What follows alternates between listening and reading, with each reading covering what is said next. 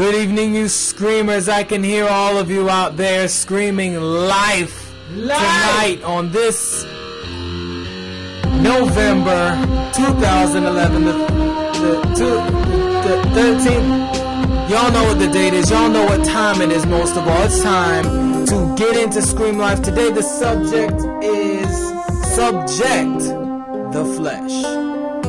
Give us your takes on that. We want your interaction with the show. This is an interacting show. We don't want you guys to just think we're putting on the whole show. We love your interactions and your opinions being shared on here. Your input does matter. And in the whole thing, trust that in Scream Life we will always come back to the truth. So just relax as we get a few more things together and we'll be right back with you. Listen to this.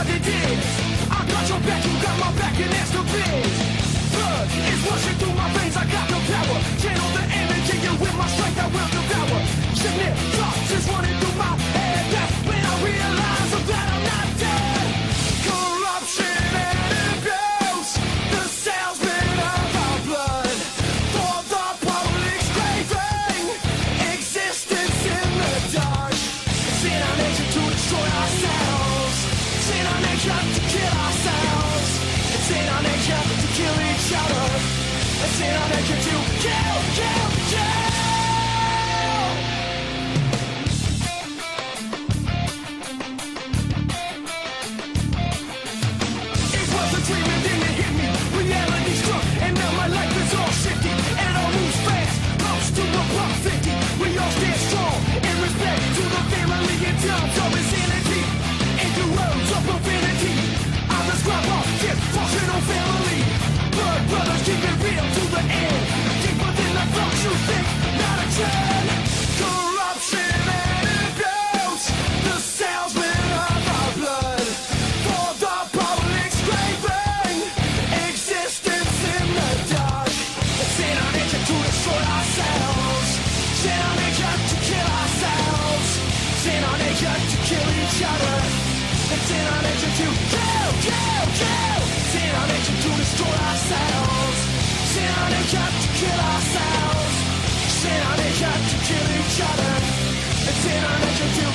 we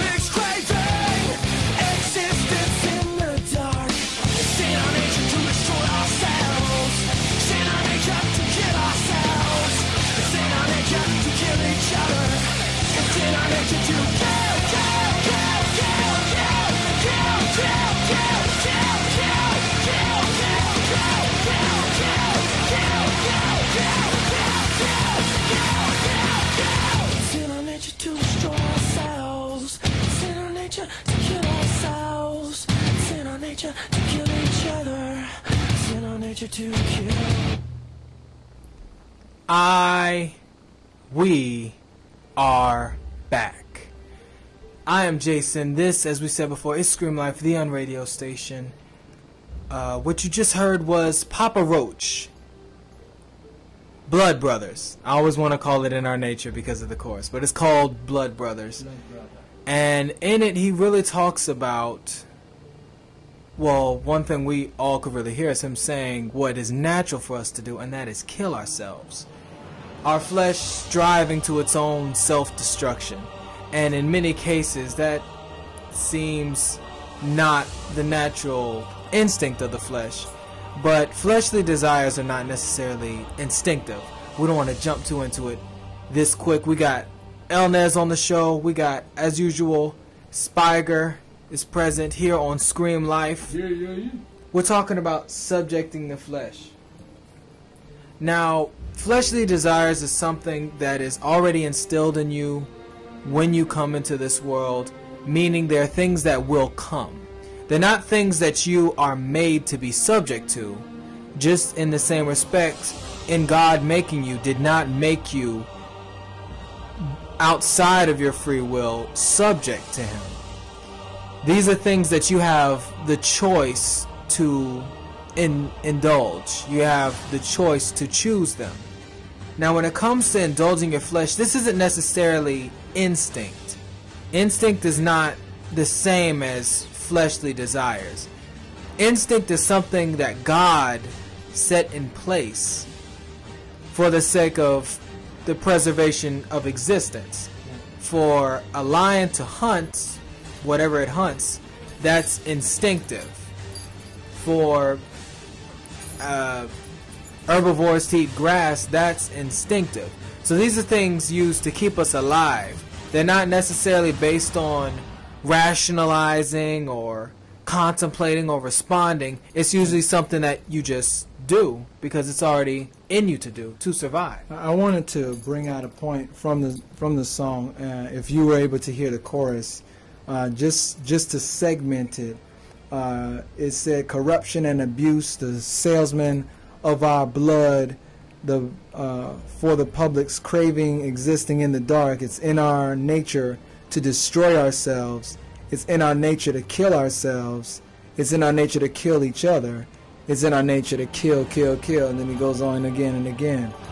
Now, the the nature that he's speaking about is what uh, Jason was uh, coming to is that's the nature of the flesh. And it's so important to understand the nature of the flesh because this is what we're talking about in the show. The theme is subject the flesh. You have to put the flesh under subjection because it's the nature of the flesh to kill itself.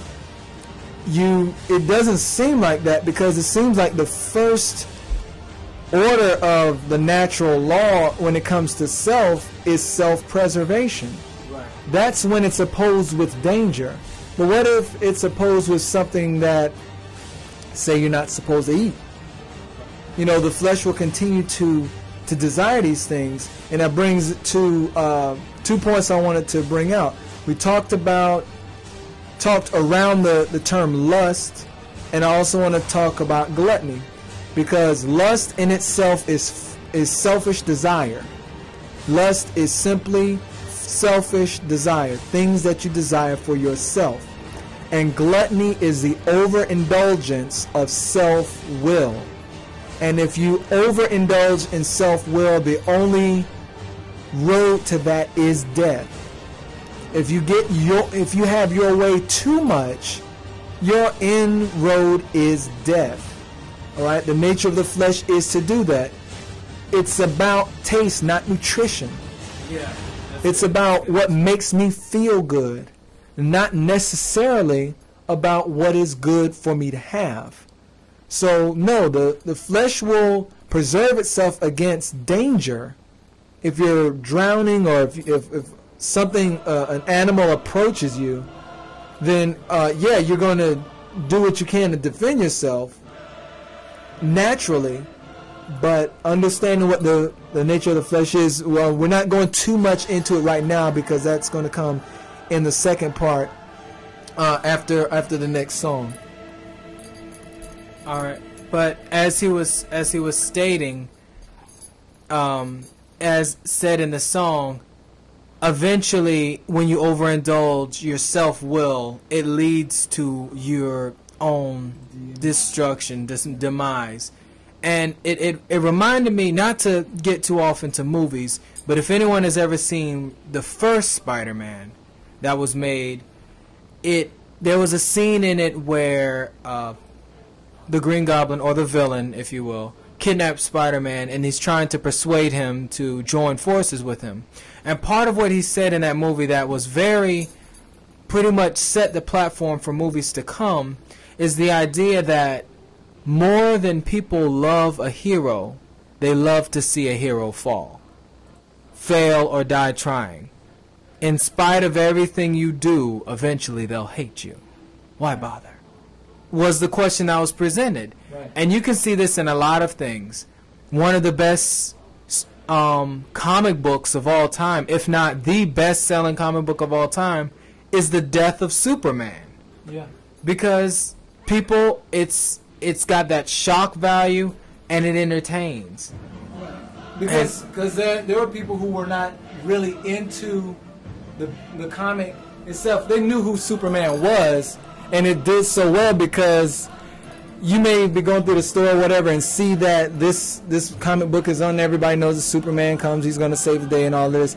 But when somebody comes to oppose him and and to bring him down, that gets more people's attention because whether you know it or not, or whether you um, feel like that's you or not, people ultimately do want to see greatness come down.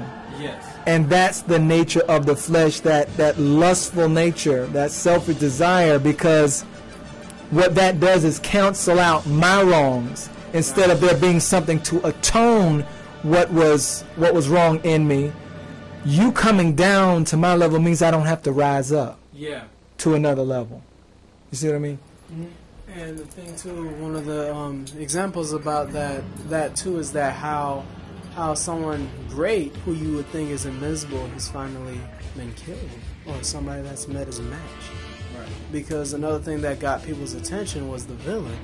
Right. How in the world is yeah? How in the world has anybody ever beat up Superman? Nobody could beat up.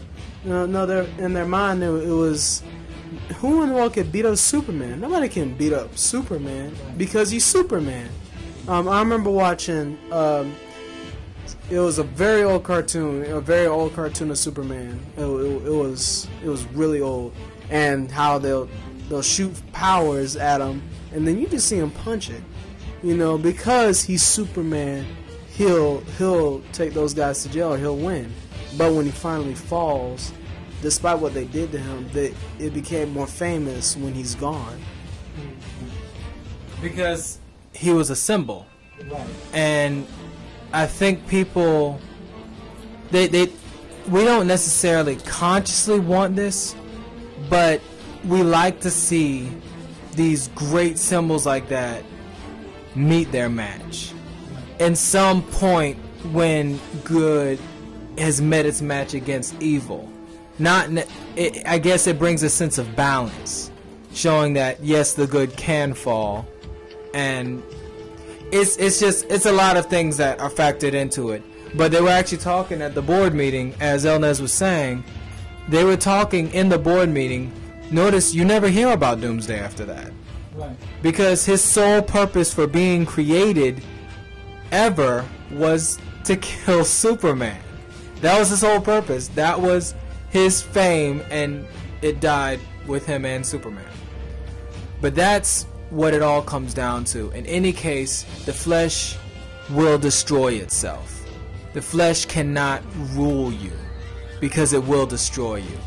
Eventually, if you continue to indulge it, if you let it be your master, if you allow yourself to be subject to it, it will bring you down with it. Because flesh doesn't have a mind. You have to think. You have to choose. You have to guard your heart. The Bible says your heart is deceitfully wicked. And in these cases you have to guard it from those things on in the flesh. Things like jealousy and envy, allowing those things to seep. I mean, look in the Bible, Joseph, what jealousy led the brothers to do.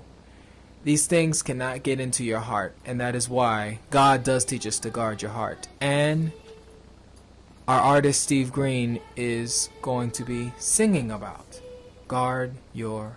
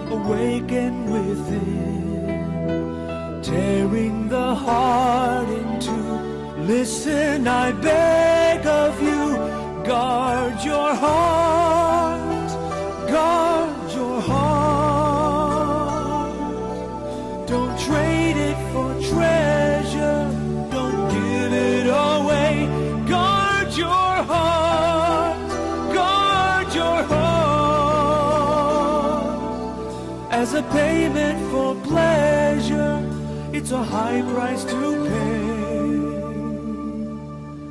for a soul that remains sincere with a conscience clear. Guard your heart. The human heart is easily swayed and often betrayed the hand of emotion. We dare not leave the outcome to chance. We must choose in advance or live with the agony. Such needless tragedy. Guard your heart.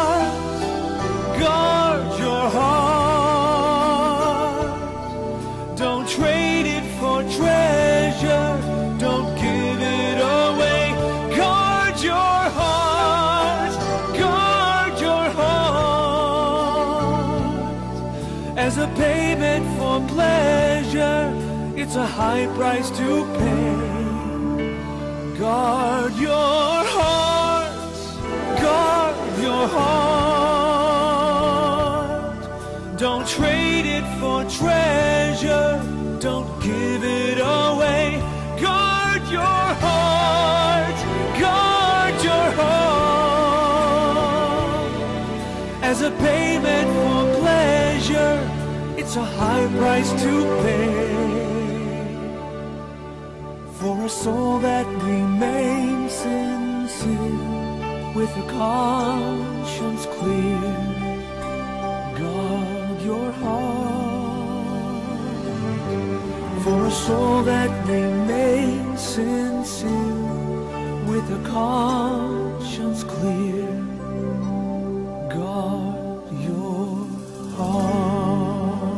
Guard Your Heart by Steve Green. He definitely put it in, I won't say the best words, the best words are the way the Bible says it, but he put it in some pretty good words. Uh, one of the things he mentioned in there was emotions and how the heart is betrayed by emotions. How emotions leads you away from that which is good. And that doesn't mean emotions in and of themselves are good, but they become bad for you when you overindulge them because they're temporal. Part of emotions, as we discussed in many of the shows in the past, is that they're they're temporal. They they're temporary. They last to I guess just personify who you are at that moment. It's not to say who you are in definition. But that's part of what he was saying and that's really the truth when it comes to the heart. And when it comes to denying your flesh, you have to develop some sense of discipline. When it comes to denying the flesh, it becomes a battle between, uh, like a battle between laziness and pro- productivity. Right. Am I going to get up and do something, or am I going to just spend all day doing nothing? Which at first is not always so bad, but at some point you're going to get to a point where you feel a lack of fulfillment. And that's natural. That's naturally put in us. When you feel a lack of fulfillment, that's when you that's like when you get to the point in a day where the day comes to a close and you feel gosh, I didn't do anything. I'm just wasting time. Waste is never good. In no form. Waste is never good. So you always have to keep that in mind. You have to have some sense of discipline. To get this discipline, if you don't yet have it, you must. As Paul says in Philippians, renew your mind. The way he says it when he wrote to the um, Philippian church in chapter 2, verse 5, for all those, make sure you write this down. Philippians chapter 2, verse 5. Let this mind be in you, which was also in Christ Jesus, who being in the who being in the form of God, thought it not robbery to be equal with God, Right. but made himself no reputation and took upon himself the form of a servant that was made in the likeness of men. And being found in the fa- in fashion as a man, he humbled himself and became obedient unto death, even the death of the cross. So, in when he renewed his mind, when you talk about putting on the mind of Christ, you have to look at what Christ did while he was here. The things he did in preparation for these amazing miracles that he was able to perform, not just in and of himself, even though he was God, he glorified God in everything that he did. Going off by himself to pray in the mountains, not just praying in front of everybody. He would isolate himself from all that was around him and separate himself to be alone with God. 40 days and 40 nights in the wilderness while fasting and praying. These things he was able to do with confidence and assurance because he kept the channel between him and God wide open. And God was who he was completely subject to.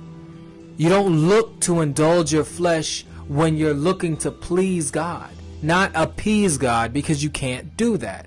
God's not temporal like we are. He's not just, okay, that was nice, so I forgive you. There's, there's no gift of anything that you could give God that He couldn't, for one, take Himself, and two, that He needs. We need Him much more than He needs us. Uh, We we don't. He doesn't really need us, you know, when we, when we look at it in that sense, because he created us uh, for his glory, and it's important to put on the mind of Christ uh, in order to subject your flesh, as uh, Jason mentioned. That's what was done. That's what Jesus did when he went off to pray and fast. You know, he was putting his flesh under subjection because he was demonstrating to us how we are to do if we're going to be in control of it. Some say it's mind over matter. Sometimes that's just not enough. You know, when we're talking about eternal life being in the balance, when eternal life is in the balance, there's more to it than just um, mind over matter. You can start an exercise program or a weight loss program and everything. You say, you know what? I'm going to I'm going to go through with this, um, and and I'm going to and and the goal can be to lose weight. Now, if that's your goal, it's a temporary goal, and the flesh will give you temporary goals. If you have not made up in your mind that I'm going to be healthy, then just losing weight is not enough. Right. There are people who who look a certain way but are not in I mean to the eye would appear in good condition, good health, but are not in good physical health. You know, their bones may lack calcium. You know, their their eyes may uh, lack iron, or there may not be enough blood. I mean, iron in their blood, and their immune system may be weak. Right. Yeah. You know, so so those those things to the appearance, if it's just about losing weight, that cannot be enough.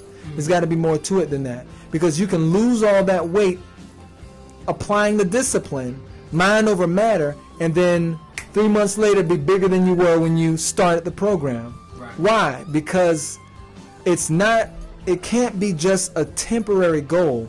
We're talking about subjection of flesh. We've mentioned the insanity workout. All three of us who are in here right now have gone through and completed that insanity workout, which is a two month program. But look, I'm looking to start it up again. You can never beat the workout. You can't because the whole object is to dig deeper. And if you do well one week, you should be able to do better the next week. And if you start from chapter one again, when you start it again, you're starting at a different level. You're doing the same exercises, but you're also eating healthy. You're also drinking more water. You know, this is taking care of your your outside temple, this shell. You know, because ultimately if you're not if you're not careful, those little things we talked about the little things uh, being seeds and they grow into something else. I was watching a movie from 1989, and I, and I know, I know Inez was about to say something, but I was watching a movie from 1989. It's called Parenthood, and I saw it a long time ago, and I I'm just pointing out one little thing from the movie, and it was when one of the mothers was trying to speak with her son who you know they were going through whatever difficulty. And the son had a lock on the door on the outside of the door so that nobody can get in but him in a house that he doesn't pay anything for. He just lives there. Yeah. you know teenager got a lock on the outside of his door won't let his mother in there. Um, then she asked him about what was in the bag he's carrying. He said uh, he said nothing or, or something very vague so she would leave him alone about it. And then when she asked him where he's going he says out. Uh, where are you going? Out. Where's the authority there and then slams the door in her face and she just turns like oh, well it was nice talking with you kind of sarcastically. But to me that's that's a very small part of the movie and maybe not something that sticks out to someone else. But the reason it stuck out to me is because that can be real life. And if you don't address that attitude at that age or really before that age then it can grow into something bigger when we're talking about lust selfish desire you it's not just sexual or sensual. It is it is your desire for self-will to be accomplished. And when you indulge in that enough, you indulge in it as a young person, as a kid, your mother says you can't have this and you want it anyway, you stomp off mad. That's having your way. That's why when I don't even remember as a child ever having that thought because my mother didn't put up with that. So but in another family, if, if a child is a stump off and, and it's not addressed, that's the child expressing his or her lustful desire to have their own way. I'm going to let you know how mad I am. As an adult, you're supposed to address that because you're an authority. And if the child doesn't learn at a young age to submit to authority that they can see, why would they look later on to submit to an authority that they can't see? Right. Train up a child in the way they should go, and when they're older, they won't depart from it. And two, um, what Justin was saying too, when you, it, when you have when you have a lot of um, addictions or bad habits, um, it, it's it's it's real it's real difficult to really get rid of them. And a lot of times, you know, in some cases you'll you have to pray about it, but it would seem it would seem simple to not do it, but when you when you feed the flesh and when that flesh just has all that stuff in it, you make it so much stronger because you're putting it in it, and it's starting to, it's really starting to just take over because it it gets stronger, which is why um the song saying guard your heart, but um you end up making the flesh stronger than what you're or what you want when the spirit man or when God is trying to speak something to you and you don't really know because you have it in your mind what the flesh wants to do because you put it in your mind to do. because uh, you'll you'll naturally want it because now that you've seen it and are engaged in it, you know. And that goes into um, the statement: "The man you feed the most is the one who will be stronger." Exactly. And that goes into the war between the flesh and spirit in your mind. You hear something in you telling you, I don't need to eat this. Because whatever your reason may be. It may be health threatening, it may be life threatening, yeah. but you'll still have that voice. And I think the problem that comes with us when we're trying to decide whether or not something is right or wrong to do, uh, per se, uh, drugs or alcohol or whatever, a lot of times we have trouble in deciding is this wrong? Some people wonder is gambling wrong? Is playing the lottery wrong if I want to play the lottery to give money to this church? We, we have a lot of ways we can try to qualify things, but you always have to bring it back to what God said in the beginning. Right. You have to decide is this thing so important to me that I can't put it down? Or that I couldn't put it down if I needed to? If it came down to it and this was threatening my health and I needed to put this down, Bible says wear this world is a loose garment. If I can't let this thing go, then that means it's pretty important to me. Uh-huh. And depending on what you won't let it go for, will show how important it is to you. Could I let this go for the sake of the gospel? Could I let this go for the sake of even just your appearance not being like the world? Right. That could apply with other things. That could apply with hair. That could apply with clothes. That could apply with your name. Mm-hmm. It's not just drugs. But if this is something you can't let go, you feel you can't live without, it's becoming a God to you. And the commandment says, Thou shalt have no other gods before me. That's not a suggestion for, for, for good living. That's a command. And if you let something become a God to you, even your flesh, you are in violation and transgression of that commandment. So that's what it always comes down to. You have to guard your temple. You have to keep your temple as a place that you'd want God to be. If God's going to make your heart his throne, this is the same place that the Bible also says is despitefully wicked.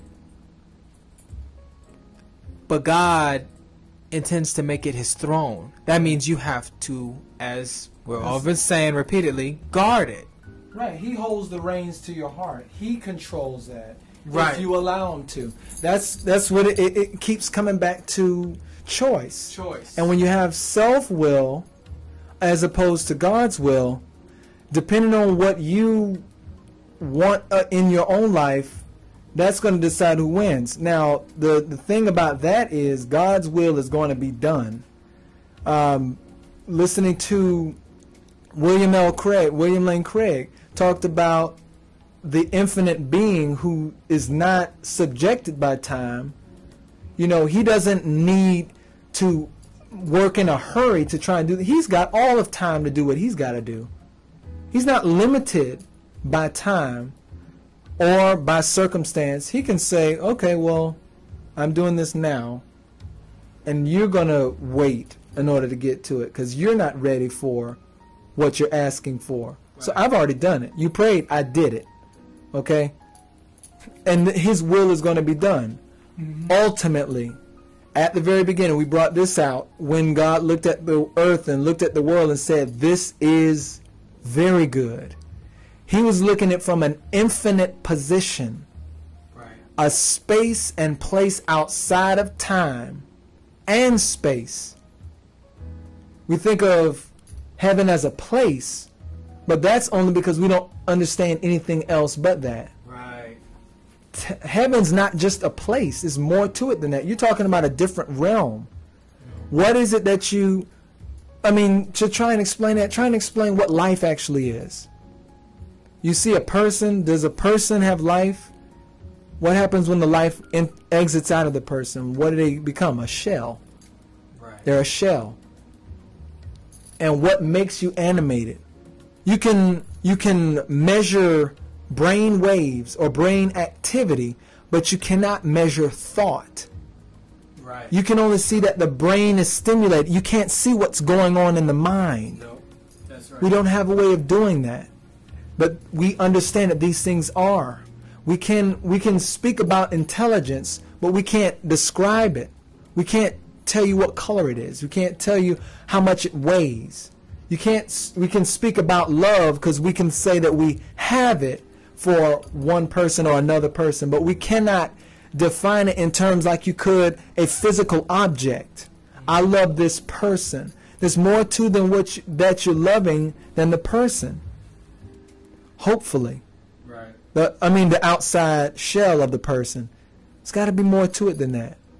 And if you don't tie to those things, those are the things that you tie to. Uh, my cousin recently passed away. And the thing that stays with me with her is the way that she was when she was here. Right. When people are here, you tie to them, the real them, because when they leave, that can stay with you. If you tie to the person's looks or the things that they do, and not really the the thing that causes them to do those things, the good things, then when they're gone, you'll be at a loss. Yeah. Of course, when people leave, then you, you're going to be feeling absence because they're no longer here. But unless you're able to tie to something greater, if you're holding on to God's hand as they held on to God's hand, then the thing that kept you together was Him. Right. And when they go on, you're left with Him, which is more than enough. Because He brought you together. And He can bring, He can heal whatever, but you've got to keep Him, uh, as, as Henry L. Porter put it in the song, keep Christ in front of you. You know, And you have to keep Christ first. This will keep you from searching for other things to subject yourself to. This is all things to take into consideration when you go to war with your flesh. Because there's certain things you can't do. You can't necessarily never eat again so that you never have a craving to eat certain things. I think the problem that we reach when we many times are presented with the idea of I want to stop doing this is we operate under the illusion that that same temptation won't be there. Uh-huh. You're not getting rid of the temptation. That's not what you're doing. But you can get rid of the tempter. The Bible says, resist the devil and he will flee. He resists him enough, he'll realize something's not working.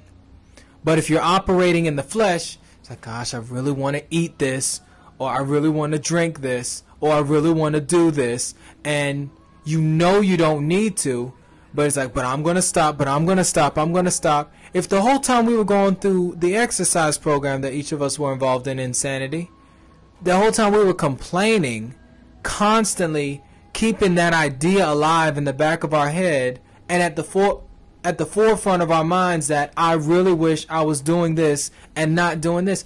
That's not just discipline.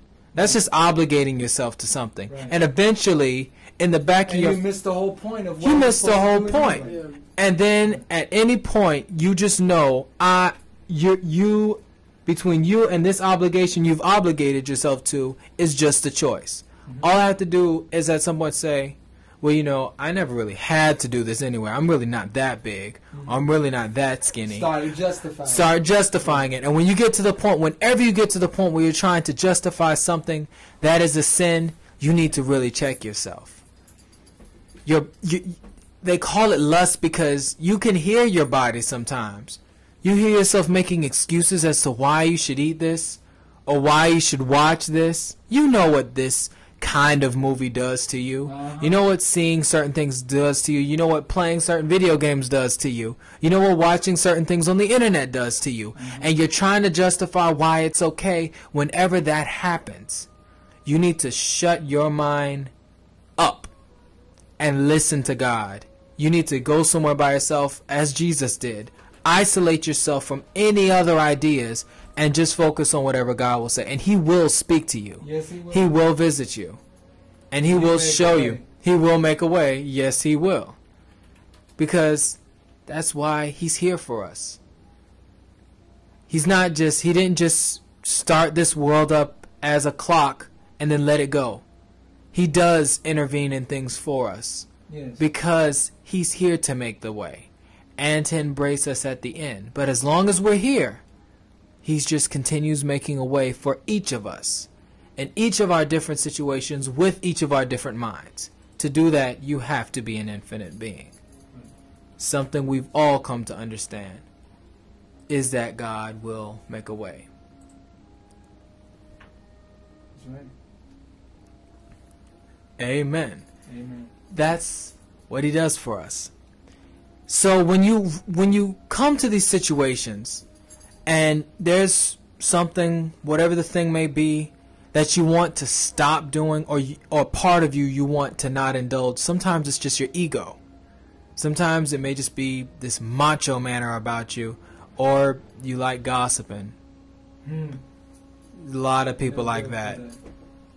These things are not instinctive, which means you can choose to do them or choose not to do them. We were made rational beings so that when certain obstacles come to us or certain things are presented to us, we can rationalize, we can choose. Right. And as long as your clock hasn't run out yet, you still have time to choose.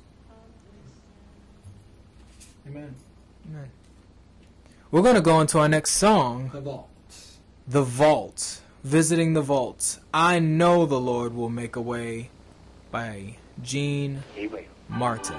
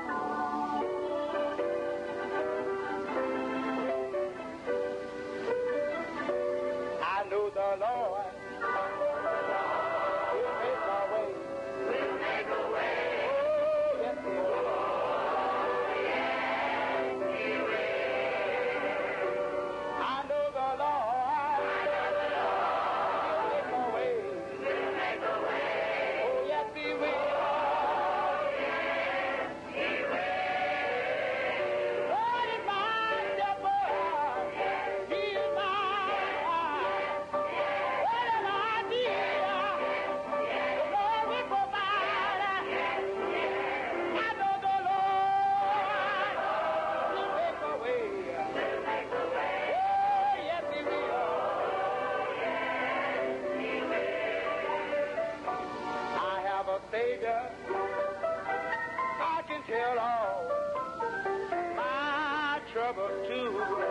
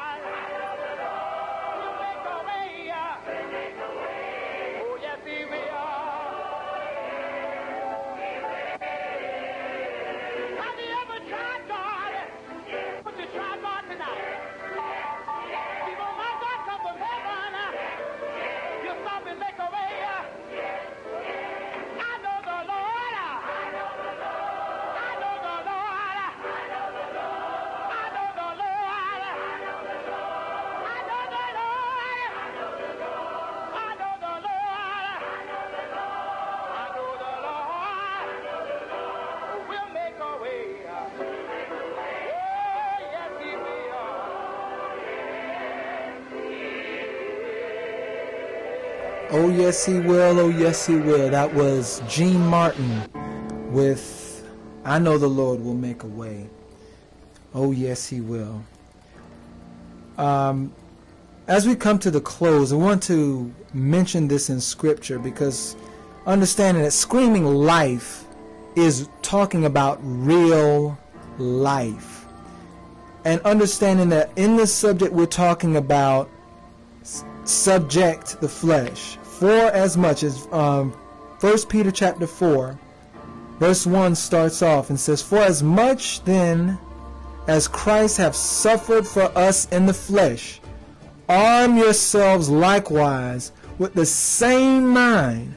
For he that hath suffered in the flesh hath ceased from sin, that he no longer should live the rest of his time in the flesh to the lust of men, but to the will of God. I would encourage you to read that whole chapter. But understand it says to arm yourself with the mind of Christ, because that is where the attack comes. The attack comes to your mind. The attack comes to your mind. What the enemy wants from you is to be in control of your mind. And if you allow your flesh to be in control, then you have given up the reins of your mind, which controls your body, which controls your members, and can cause you to sin. The sin takes place not in the members, not in your body, but it takes place in the mind and in the heart. Because that's what God looks at. Why did you do it? Yeah. It's not the sinful act. The act itself is not the sin, but what caused you to do it. You gave in to gave lustly desire, fleshly desire.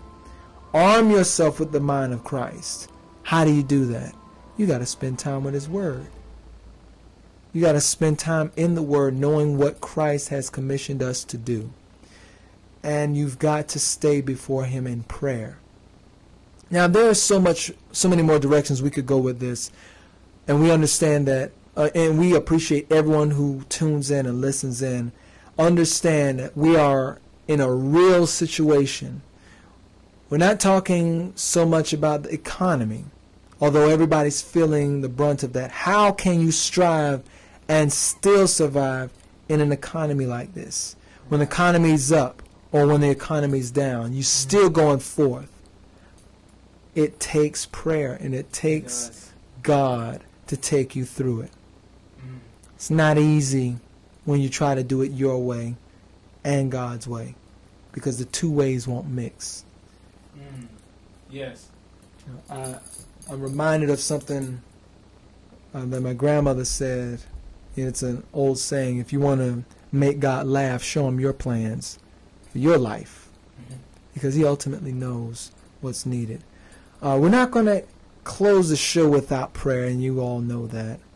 Uh, but what I want you to be mindful of from this point to next week is just keep in mind these things that you do place before God. And when I don't mean I don't mean petition, I mean the things that take up more time than he does in your life. And ask yourself how important are these things? What would happen if I lost this object, this position, this person? How would my life change and my relationship with God change? If there would be a difference, let that difference be now. Don't wait until that time because you'll find in drawing closer to God, you're actually will have a more meaningful relationship with those who you're close to. You have no time for grudges or anger with people holding on to it, and you, you can be a better person. What I say unto one, I say unto all watch as well as pray. Father God, we thank you for all things. We know that you love us because of what you said to us in your word. We thank you for all who are listening right now, Lord, and you know the hearts of men, where they are and what they're doing at whatever point in time.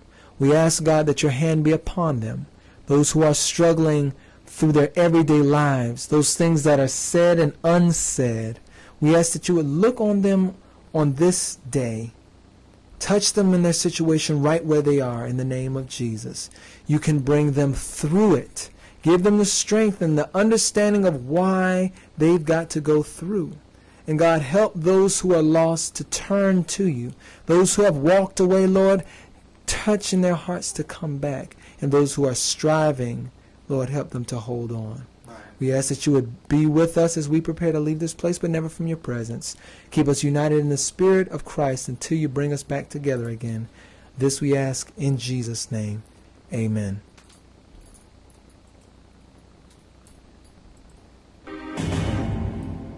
That sound means that we're out of time.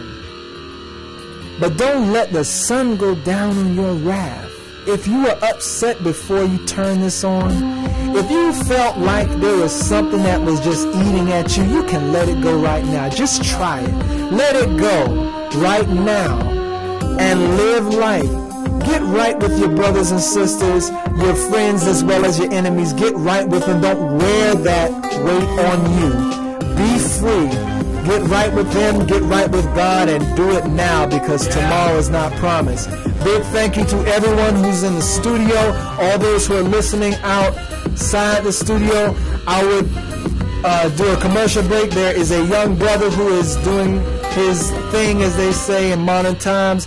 The Straight and Narrow clothing line. Go to Facebook, look up Straight and Narrow if you're in the Jacksonville area, right downtown. If you go straight down Laura Street, you're going to see it before you get to the landing. Straight and Narrow is a clothing shop. Be a support to this ministry. In all thy ways, acknowledge him, and he'll direct your path. Yeah. That's all the way down to the dress code. Thank you again for everyone. And until next time, we bid you peace, love, and scream life. Life! Scream life! life. And we'll see you next time. God say the same.